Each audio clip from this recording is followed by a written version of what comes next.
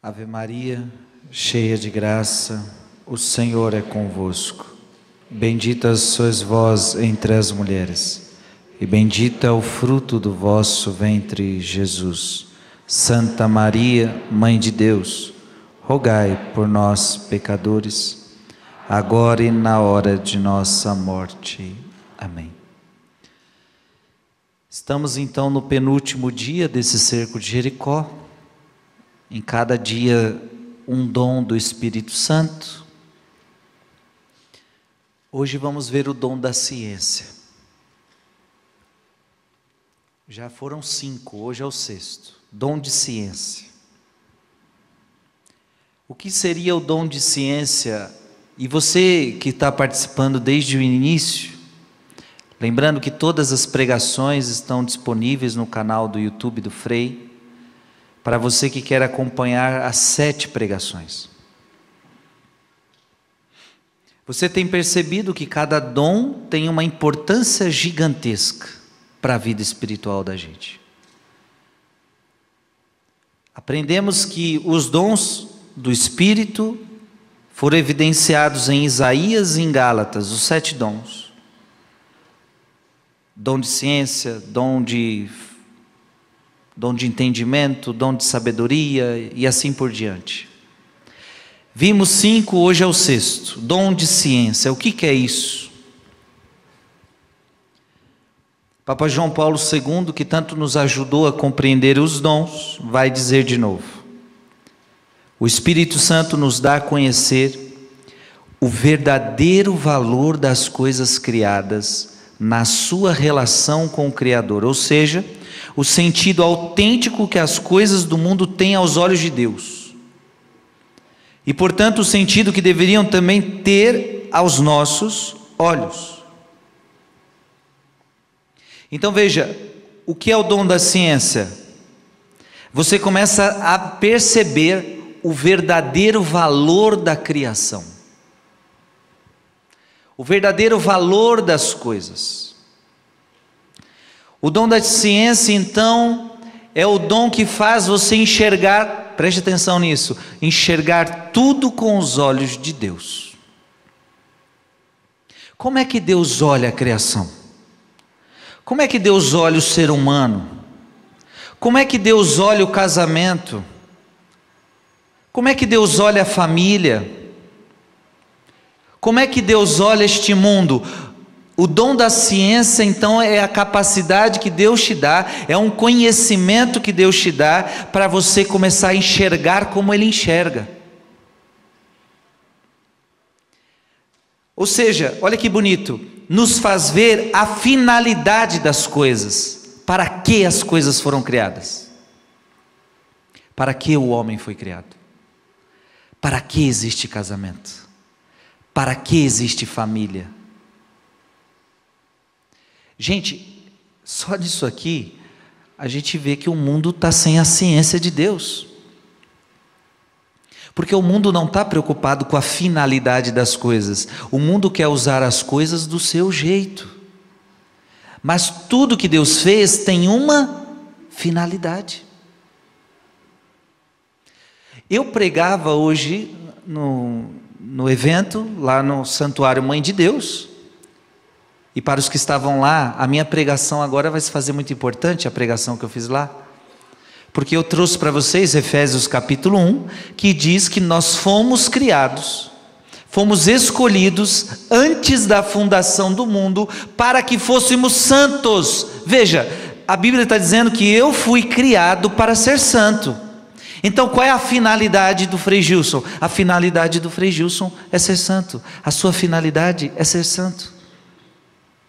Segunda finalidade que Efésios coloca, nos escolheu para que fôssemos filhos de Deus. Então, essa é a finalidade do homem. A finalidade do homem não é fazer o que ele quer, a finalidade do homem não é viver uma vida mundana, fazendo os desejos da carne. Não, a vida do homem é ser santo. A vida, a finalidade do homem é essa. A finalidade do homem é ser filho de Deus.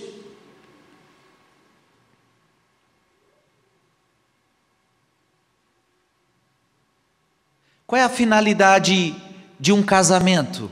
A finalidade de um casamento é a constituição de uma família.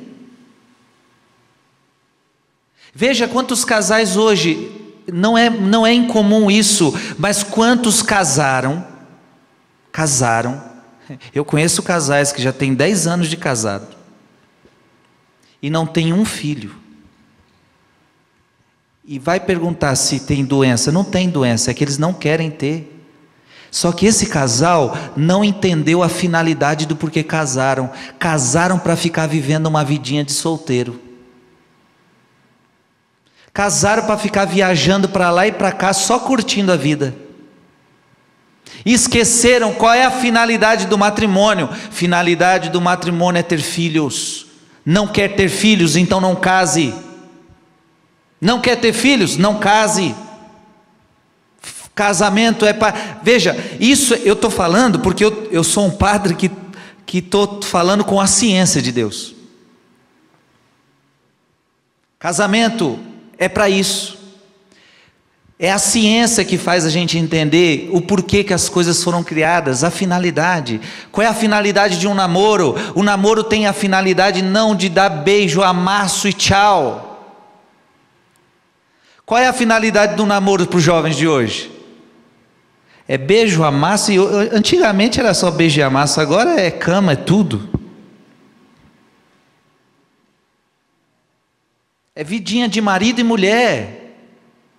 Hoje namoradinhos estão vivendo vida de marido e mulher. Porque não entende a finalidade de um namoro. A finalidade de um namoro era para ser a preparação para um casamento. Eu estou escolhendo a minha futura esposa, eu estou escolhendo o meu futuro esposo. Isso é namoro. Não deveria ter amassos calorosos, não deveria ter sexo, porque não é casamento, não é a finalidade. Você entende que tudo tem uma finalidade? Qual é a finalidade do noivado? O noivado é quando você já tem certeza que você quer casar com essa criatura. Então por isso que você noiva, você já tem certeza, você já não tem mais dúvida. O casamento já está próximo, mas não tem sexo ainda, porque ainda não é teu namoro, não é teu, não é teu esposo, não é tua esposa. Essa é a finalidade. Tudo na vida tem uma finalidade. Qual é a finalidade do sol?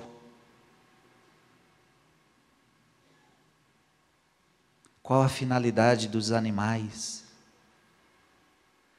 Toda a criação foi criada para alguma coisa. Deus pensou tudo certinho e eu preciso ter a ciência para entender como que Deus pensou as coisas, porque senão a gente vira tudo uns umas pessoas que sem não têm a ciência. Então desvirtuamos tudo, mudamos tudo. Qual é a finalidade do homem? Diz a Bíblia: o homem foi feito para a mulher, a mulher foi feita para o homem. Esta é a finalidade. Não existe esse negócio de que homem foi feito para o homem, mulher foi feita para a mulher. Não existe. Não é a finalidade. Não é. Qual é a finalidade do sexo? A finalidade do sexo não é só prazer, a finalidade do sexo está na Bíblia. Deus falou para Adão e Eva: crescei e multiplicai-vos. A finalidade do sexo não é só dar prazer ao corpo, a finalidade do sexo também é, é procriação. Está dando para entender? Tudo tem uma finalidade. Qual é a finalidade do sacerdócio? A finalidade do sacerdócio é a salvação das almas, é a santificação das pessoas, essa é a minha finalidade.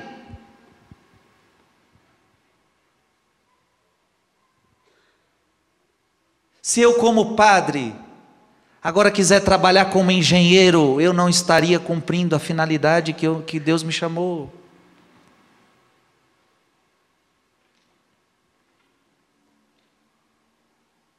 Se eu, como padre, quiser agora ser um jogador de futebol, eu gosto de futebol, hein?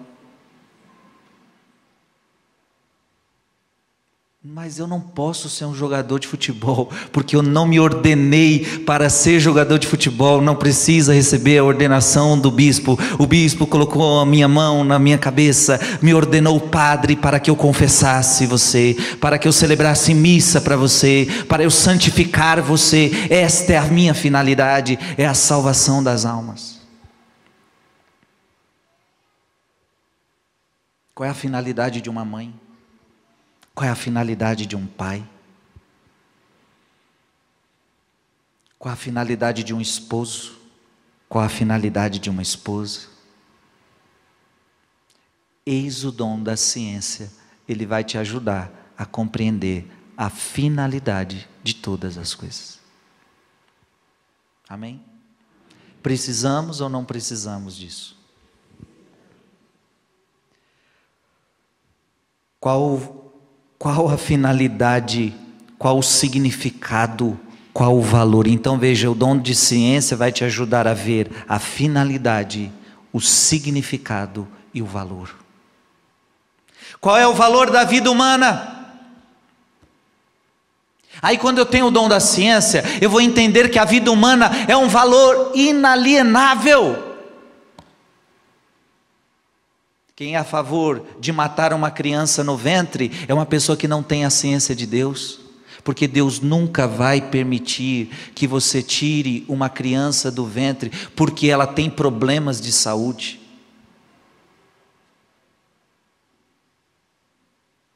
Ou porque a menina foi estupada, estrupada, aconteceu essa, esse crime, mas a quem está aqui não tem culpa quem está aqui não tem nada a ver com essa história. Quem está aqui não sabe nem o que está acontecendo e Deus não permite matar essa vida. Por quê? Porque a vida tem um valor inalienável. Só que quem não tem ciência pode matar. Porque não sabe o valor da vida. Não sabe o valor que a vida tem. Isso para as crianças, mas isso também para os velhinhos, os velhinhos que estão lá dando trabalho e estão sobrevivendo com, com, com aparelhos, e de repente chega alguém e fala: Esse velhinho aí só está dando gasto, é melhor desligar esses aparelhos porque está vegetando. Isso é eutanásia. Isso é eutanásia. Quem faz a eutanásia não sabe o valor que tem uma vida. O valor da natureza. Qual o valor dos bens materiais? Tem gente que dá um valor exagerado aos bens materiais. Os bens materiais não valem muita coisa. O que, que vale um bem material? Vale só para o mundo dos homens. Então, o ser humano de hoje, olha, olha o absurdo que a gente entra. O ser humano de hoje dá mais valor aos bens materiais do que à vida humana. Você vê como as coisas mudam? O ser humano de hoje dá mais valor ao que é bem material do que à vida humana. A natureza, o ser humano de hoje dá mais valor aos animais, não todos, né? Mas tem uma galera aí que dá mais valor a animais do que é o ser humano. E segundo a Bíblia, eu sou mais valioso que um animal. Sim ou não? Com todo respeito aos bichinhos, gosto deles. Mas eu, eu valo mais que eles. Você vale mais que os pássaros. Você vale mais que os bichos. Vale. Porque os bichos não foram criados à imagem e semelhança de Deus. Os bichos não têm alma espiritual. Você foi criado à imagem e semelhança de Deus. Você tem alma espiritual. Você vale mais. Você vale mais. Veja, mas eu estou falando tudo isso com, através do dom de ciência para você. Eu estou falando com conhecimento, com conhecimento de Deus. Para um, uma pessoa mundana, ele compara homem com animal. E hoje, hoje, hoje é capaz de salvar a tartaruga que está em extinção, mas não salva a vida que está aqui. Olha por onde o ser humano chegou. E, e, e, quando eu disse que na Bíblia está que a gente vale mais do que os animais, está lá. Jesus vai falar: olha para os pássaros, eles não trabalham e eu cuido deles. Vocês não valem mais do que os pássaros? Jesus diz para nós: vocês valem mais do que os pássaros. Vocês são meus filhos. Qual é o valor da natureza? Eu não estou dizendo aqui que a natureza não tem valor, claro que tem, mas o devido valor. Os bens materiais têm valor? Claro que tem, mas eu preciso saber qual é o lugar deles, qual é o valor, qual é o significado. Qual é o significado, o valor do meu corpo? As pessoas de hoje não valorizam o seu corpo, não valorizam. Gente, se tem algo que está sendo desvalorizado, é o corpo. O teu corpo é templo do Espírito Santo. Tem mais valor do que isso? Qual é o valor de, um, de uma igreja dessa? Qual é o valor de um templo desse? Não tem valor isso daqui, porque isso aqui é uma igreja, isso aqui é um templo sagrado. Se alguém chegar aqui, eu quero comprar este templo porque eu quero fazer aqui um restaurante. Quanto você vende, padre? Não, não tem valor. Tem valor isso aqui? Se eu vender, vocês vão fazer o que comigo? Vocês vão me matar. Porque isso aqui não tem valor. Porque é um templo sagrado. A Bíblia diz que o seu corpo é templo do Espírito Santo, o teu corpo é sagrado, o seu corpo é sagrado, mas as pessoas não dão valor. Quando eu pego o meu corpo e dou para qualquer um, as meninas, meninas, você dá seu corpo para qualquer um, você não está valorizando ele. O homem que quer pegar todo mundo não está valorizando nem as meninas, nem ele mesmo. Quando eu valorizo o meu corpo, eu digo o seguinte: segundo a Bíblia, o meu corpo é do meu esposo, segundo a Bíblia, o meu corpo é da minha esposa. Isso é valorizar o corpo.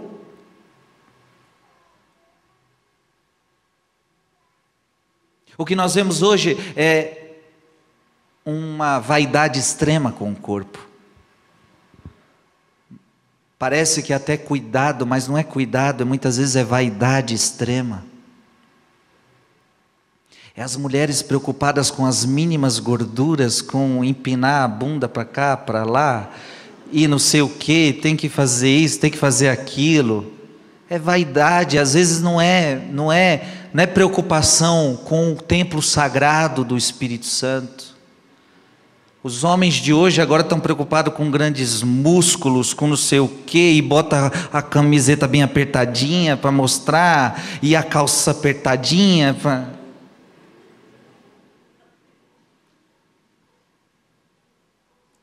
O que tem valor, presta o que eu vou te dizer. O que tem valor, a gente guarda. O que não tem valor, a gente mostra para todo mundo.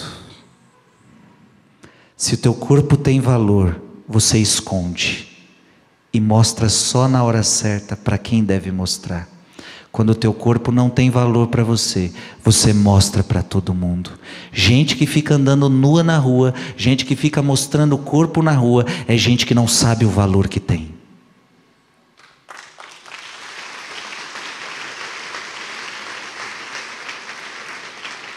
Você não sabe o valor que teu corpo tem, você não sabe. Porque se você soubesse, você guardava.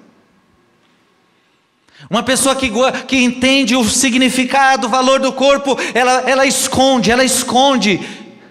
É porque você valoriza, você valoriza o teu corpo como algo sagrado. Mas hoje o mundo não valoriza, não entende o significado do corpo, a importância, o valor. Bota piercing para tudo que é lado bota tatuagem da ponta do dedo às pontas da cabeça. Porque muitas vezes nós não conhecemos o valor que nós temos. O que é valoroso a gente guarda. Se você ganhar uma bolada de uns 50 mil reais hoje, você vai deixar no bolso? Vai? O que, que você vai fazer? Porque o que tem valor a gente guarda. O que não tem valor. Aquele carro velho que você tem, você deixa até na rua. Você não quer guardar na garagem? Não, deixa aí. Agora, quando chega aquele carrinho novinho, zerinho, não, agora tem que guardar na garagem. O que tem valor a gente guarda. Teu corpo tem valor. Ei, teu corpo tem valor. Guarde, guarde, guarde. Porque Deus vai pedir contas dele. Amém? A mulher guarde o seu corpo para o seu marido. Marido, guarde o seu corpo para a sua mulher. E a Bíblia diz que o corpo da mulher é do marido e o corpo do marido é da mulher. Jovens, guardem os vossos corpos até o dia do casamento.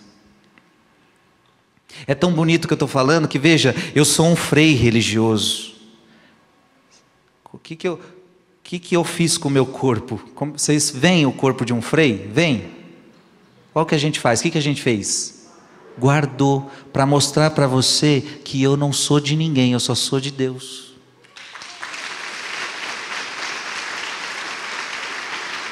Porque o que é precioso a gente guarda. O que, que uma freira faz? Ela cobre o corpo, ela tira, ela tira a, as marcas do corpo para que ninguém fique olhando para aquela freira.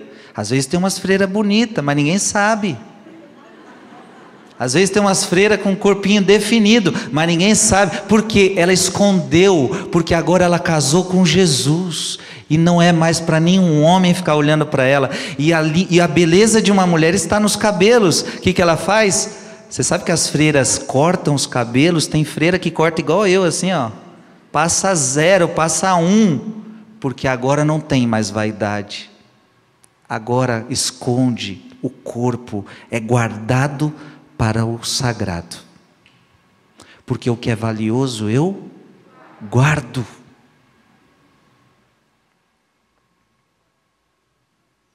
Agora os jovens de hoje se gabam de ir para a balada e com quantas você ficou? Eu fiquei com sete, eu fiquei com dez. As meninas se gabam de ter sido usadas igual uma laranja que o homem chupa e joga o bagaço fora ou descarrega alguma coisa e tchau.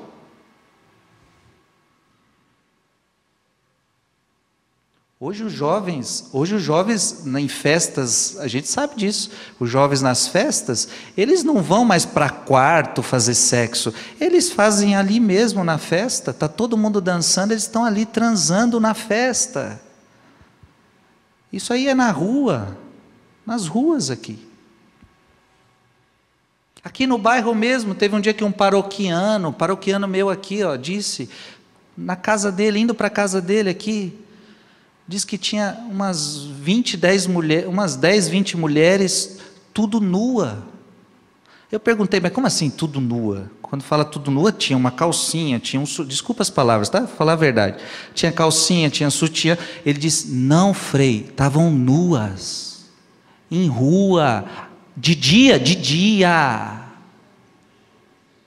Assim, ele falou, filha, vira o olho, vira o rosto aqui, vamos passar, porque nós temos que ir para casa. Aqui. Porque os jovens, o mundo de hoje perdeu a cabeça. O mundo de hoje não sabe o valor das coisas, o mundo de hoje não sabe o valor do corpo, não sabe o significado. Está dando para entender sim ou não? Está faltando dom de ciência. O valor da saúde, o valor da dor, eu preciso entender qual é o significado do sofrimento, qual é o significado do sofrimento, qual é o significado da dor, qual é o significado do prazer. Deus deu prazer, mas qual é o significado disso? Preste atenção, você, prestou atenção que quando você come, não sei qual comida você gosta, mas amanhã é domingão, imagina uma feijoada amanhã para você, que tá bom assim, uma feijoada? Quando você comer a feijoada, você vai sentir o quê? Prazer, um churrasco, sei lá, que você gosta. Você vai sentir o quê? Prazer. Uma lasanha. Hoje à noite você vai chegar em casa, vai comer uma pizza gostosa. Tá lá esperando você, alguém comprou para você.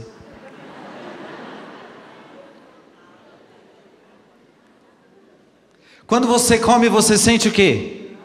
Prazer. Esse prazer é ruim? Não. Quem deu esse prazer para você? Deus te deu esse prazer para que quando você coma, você até para você procurar o alimento, porque imagina se a gente não sentisse prazer com o alimento, talvez a gente não procurar, a gente não comeria. Verdade ou não é? Quando a gente está doente, a gente quer comer? Por que, que a gente não quer comer? Estou sentindo gosto de nada. A gente gosta de comer quando a gente tem prazer. Ah, agora estou sentindo o gosto da comida. O prazer é para motivar a gente, é para motivar a vida, é para trazer alegria, mas não posso buscar o prazer pelo prazer. No sexo, no sexo tem prazer, só que o sexo, o prazer do sexo é uma consequência. Eu não posso buscar só o prazer, eu não posso buscar só ter prazer, aí eu estaria errado. Veja, o, o, o prazer é lícito, mas não pode ser o fim das coisas. O significado do trabalho, o significado do descanso, qual é o significado do trabalho, qual é o significado do descanso? Em suma, qual o significado de todas as realidades do mundo. É o dom de ciência que vai te dizer. Amém? Diga comigo, eu estou entendendo, Senhor. Dai-me o dom de ciência. Para olhar as coisas como o Senhor olha. Sem dúvida alguma, quando olhamos para a criação, a criação causa encanto. Claro, foi Deus quem fez. Depois do pecado, este encanto pode despertar em nós. Então veja, quando olhamos para a criação, ela nos causa encanto, mas depois do pecado, essa, esse encanto pode despertar em nós coisas boas ou coisas ruins, porque agora nós somos maus. O que, que, é uma, uma coisa boa? Ela pode trazer uma atração boa. Você olha para tudo que Deus fez e, e o que, que pode ser bom? É você sentir, é você se admirar. Que natureza bonita, como o ser humano é bonito, como a vida é bonita. Você se admira, você contempla, você vê beleza, você olha para a criação, você vê beleza. Você olha para as pessoas, você vê beleza, você vê grandeza, você olha para a imensidão daquele mar, você olha para a imensidão daquelas montanhas, você se admira, você contempla, você acha belo. Isso é bom. O Criador fez. Através então dessa contemplação, nós louvamos o Criador. Toda vez que eu vou para uma praia, é, é, é de admirar quando eu olho para aquela imensidão e não tem como não pensar no meu Deus, não tem como você não louvar a Deus. Você começa, eu quando vou numa praia, eu vou ali, eu gosto de, de ir numa praia bem deserta, só para tomar um banho de 30 minutos tá bom, e louvar a criação, louvar a criação. Como São Francisco fazia. São Francisco louvava Deus por tudo. Irmão Sol, louvado seja de meu Deus pelo irmão Sol, louvado seja Deus pelo irmão, irmã Lua, louvado seja Deus pelo irmão Urso, pelo irmão, e ele todo mundo era irmão para ele. E ele louvava a criação. Romanos 1:20 de fato, as perfeições invisíveis de Deus são percebidas pela inteligência através das suas obras, desde a criação do mundo. Então, olhando para as obras de Deus, eu, eu, eu, eu vejo a Deus, então eu olho para a criação, eu lembro do Criador e começo a louvar o Senhor. mas nem todo olhar é certo. Compreender o plano de Deus, compreender o plano que Deus quis para cada coisa, a ordem da criação, o fim último das coisas, nós podemos então ter uma visão do mundo errada. Nós podemos ter uma visão hedonista, que é a visão do mundo atual. Visão hedonista que só busca prazer. Usa do mundo para ter prazer, usa do mundo só para ter prazer. O mundo atual só pensa em prazer. Podemos ter uma visão do mundo materialista, não transcendente. Só pensamos neste mundo material, neste mundo que passa. Esquecemos que o mundo é transcendente também. Podemos ter uma visão consumista, só queremos usar as coisas, usar as coisas, consumir as coisas, sem responsabilidade nenhuma. Podemos ter uma visão egoísta do mundo, sem olhar o todo. É quando a gente chega numa natureza a gente toma uma, um refrigerante, pega a latinha e joga na natureza. Isso é uma visão egoísta do mundo. Só pensa em você mesmo. Você não pensa num todo. Você não pensa no bem de todo mundo. Uma visão relativista. Se eu não tiver o dom de ciência, eu não vou entender as coisas como elas devem ser entendidas. É o dom da ciência, então, que vai abrir meus olhos. Amém? Então, é ver a vida com os olhos de Deus. Diga comigo: ver a vida com os olhos de Deus. Deus colocou em você a verdade. Olha que bonito isso. Deus colocou em você a verdade. E o seu papel é descobrir qual é a verdade das coisas. Qual é a verdade? E qual é a verdadeira filosofia? Você sabe que um padre estuda filosofia. Estudei dois anos filosofia. Filosofia não é ruim, só que tem muita péssima filosofia. Ainda mais as que ensinam muitas vezes para as crianças, para os adolescentes, para os jovens. Qual é a verdadeira filosofia? Filosofia significa a busca da verdade. O verdadeiro filósofo, ele quer a verdade. Qual é a verdadeira ciência? A verdadeira ciência é a verdade, é a busca da verdade. Ela comprova fatos, ela comprova, ela, ela quer a verdade. Tem ciência hoje que não está preocupada com a verdade. Tem filosofia que não está preocupada com a verdade. É por isso que a igreja, ela não tem medo da ciência e a igreja não tem medo da filosofia. Aliás, a igreja é amiga da ciência e a igreja é amiga da filosofia, da boa filosofia e da boa ciência. Diga-se de passagem que muitos santos foram grandes filósofos.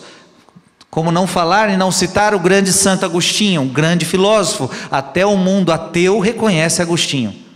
Até o mundo ateu reconhece um Santo Tomás de Aquino. Grandes filósofos, mas queriam a verdade.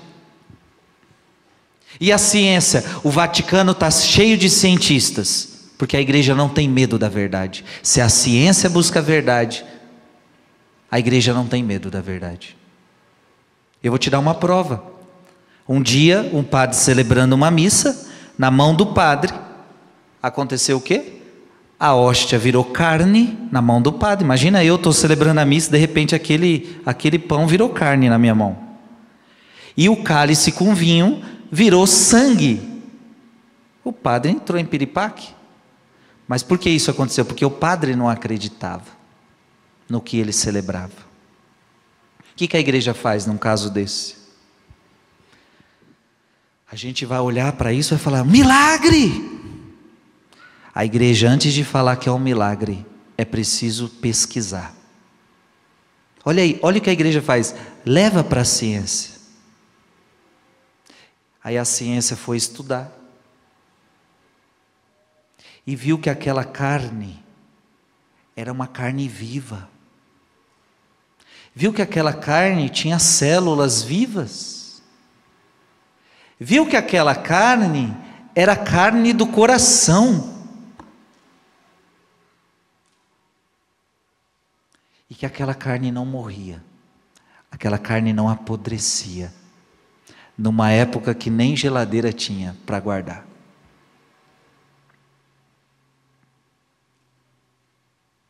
O sangue, o sangue coagulou, mas estava vivo. Aí a ciência sabe o que ela diz nessa hora? Nós não sabemos explicar o que está acontecendo aqui. E se tiver um cientista com fé, ele vai dizer: o Verbo se fez carne e habitou entre nós. É a única explicação que tem.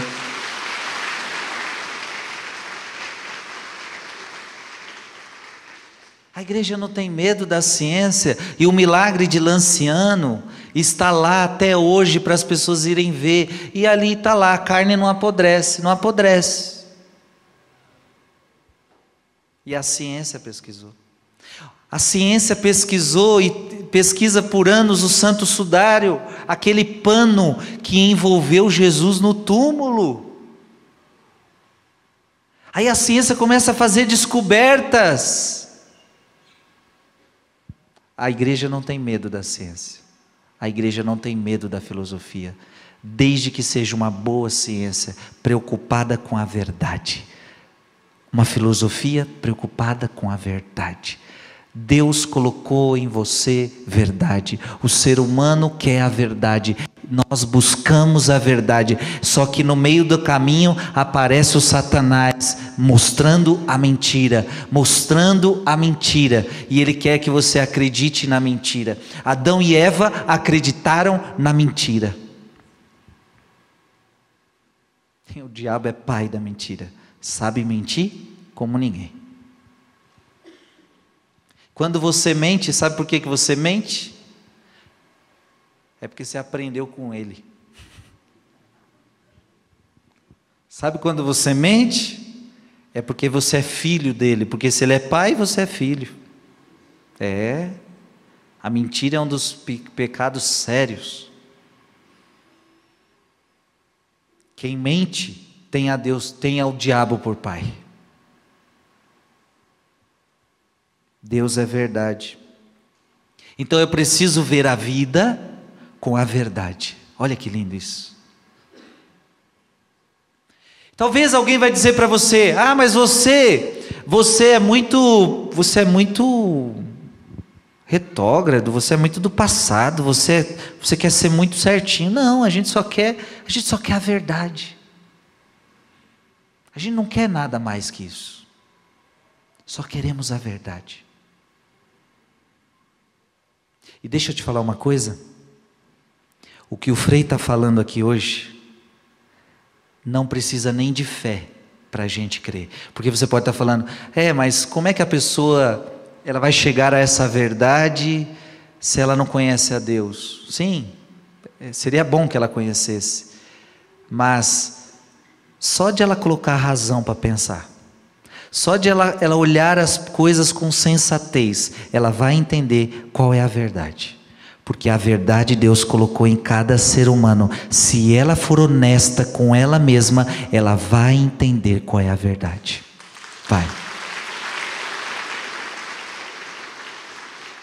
Vai ou não vai? Vai.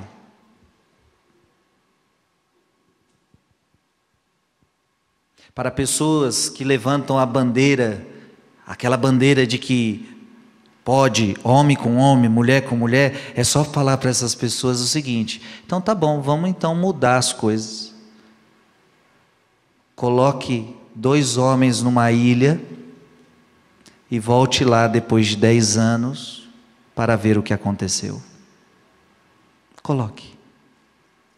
O que, que você vai voltar? Daqui dez anos, quando você voltar, você vai ver o que lá? Dois homens. Com os bichinhos. É, ali. Vá numa ilha e coloque um homem e uma mulher. E volte depois de 10 anos. Você pode voltar e já ter uma cidade lá. já tem um bairro. Aí a gente vai entendendo que a, que é, a, a verdade é essa. Então a gente vai entendendo então que só assim que uma sociedade é construída. Então nós vamos entendendo que a família é a base de uma sociedade, que sem um homem, uma mulher, sem uma família, sem o casamento não existe sociedade, sem casamento não existe um povo, sem, sem, sem, sem essa base não existe humanidade. Essa é a verdade. Essa é a verdade. É preconceito? É só a verdade. É só a verdade. E é a verdade que eu acredito. Agora é claro, vivemos num mundo hoje onde está havendo a ditadura. Ah, você sabe que está havendo hoje uma ditadura. Eu falar a mim, eu falar a verdade que eu acredito, posso hoje até ser preso por estar falando uma verdade que acredito. Porque hoje tem os ditadores da verdade. É eles que ditam qual é a verdade e, e, são ditadores, porque quem não acredita na verdade deles, eles falam: você é preconceituoso, você está jogando fake news, você não sei o que, merece, é crime. Mas, mas espera aí, é você que define a verdade? É você que define o que é o que é o certo e o que é errado. E veja, para mim, que sou cristão, não é o ser humano que define o que é certo e o que é errado. Para mim, quem define o que é certo e o que é errado é Deus. É Ele que define o que é certo, o que é errado.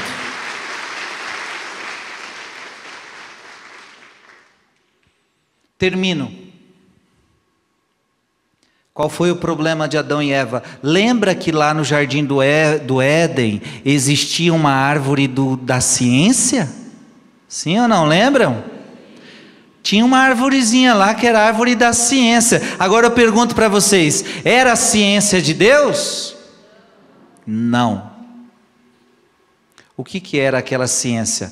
A árvore do conhecimento do bem e do mal. O que, que significa isso? É o se você comer deste fruto, significa que você não quer que eu diga para você o que é certo, o que é errado. É o ser humano querendo tomar de Deus essa prerrogativa e, e, ele quer definir. Não, eu não quero que Deus defina o que é certo, o que é errado para mim. Eu quero definir o que é certo e o que é errado. Foi isso que Adão e Eva fez. Eles não quiseram a ciência de Deus, eles quiseram ficar com a sua própria ciência. Ou seja, eu defino o que é certo, o que é errado. O mundo de hoje parece que continua comendo a árvore que Adão e Eva comeram. O mundo de hoje parece que gostou daquele fruto proibido. Sabe por quê? Porque o diabo falou: no dia que você comer deste fruto, você se tornará Deus. De fato, você abandonará o Deus verdadeiro para adquirir um Deus falso. Você vai se colocar no lugar de Deus, definindo o que é certo e o que é errado. Não. Eu digo a você, filho e filha, nunca faça isso. Não cabe a você definir o valor da vida o valor do sexo, o valor do trabalho, o valor da vida humana, o valor da dor, o valor de tudo, o valor da criação. Tudo isso já foi definido pelo Criador. A mim só cabe descobrir a verdade. A mim só cabe buscar a verdade noite e dia. A verdade que Deus já fez as coisas. Amém? Diga, eu quero a verdade. Eu quero a verdade. O diabo já entortou a cara para você.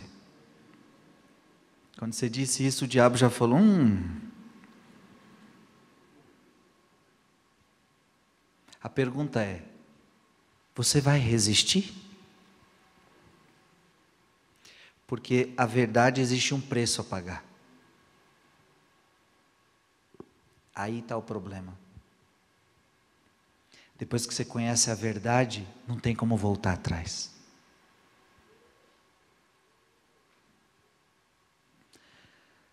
Quando eu disse para você que uma verdade, você entendeu aquela verdade, agora já era. Você pode até ir para o inferno, porque agora você conheceu a verdade. Tem gente que pode até falar, ixi, preferia não ter nem descoberto essa verdade. Que agora eu estou na roça, agora eu, eu sei. É, agora você sabe.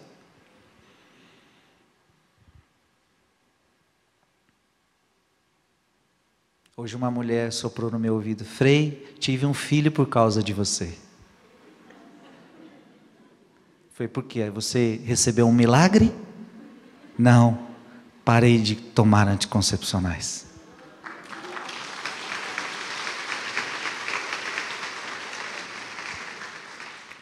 Ela descobriu a verdade. Só que eu tenho para te dizer uma coisa boa. A Bíblia diz: Conhecereis a verdade. Conhecereis a verdade. Conhecereis a verdade. E a verdade vai libertar você. Essa mulher conheceu a verdade e a verdade libertou ela. Amém? Só que aí você precisa entender: a verdade não é uma teoria. A verdade não é um documentozinho que você descobriu. Quem fez essa descoberta foi Santo Agostinho. Ele descobre que a verdade que ele tanto buscava não é uma teoria, não é um escrito, não. A teoria ou melhor, a verdade é uma pessoa. Aí Agostinho descobre: a verdade não é palavras, a verdade não é caderno, a verdade não são livros, a verdade é uma pessoa. E Agostinho descobre: a verdade é Jesus. Pronto. Conhecereis a verdade, e a verdade vos libertará. A verdade é Jesus. Quem quiser a verdade, preste atenção. Quem quiser a verdade, não vai ter jeito, vai se encontrar com Ele. Pergunte para, para o teu filho que não quer saber de igreja: Filho, quer a verdade? Sim, mãe, quero viver a verdade. Então, você, então fico tranquila, que uma hora você vai se encontrar com Ele. Vai. Quem quer a verdade e busca ela de coração, vai se deparar com Jesus Cristo. Vai, porque Ele é a verdade. Essa pregação é de suma importância, hein? Essa pregação ela tem uma suma importância. Dom de ciência é entender, conhecer o verdadeiro valor das coisas criadas na sua relação com o Criador. Amém.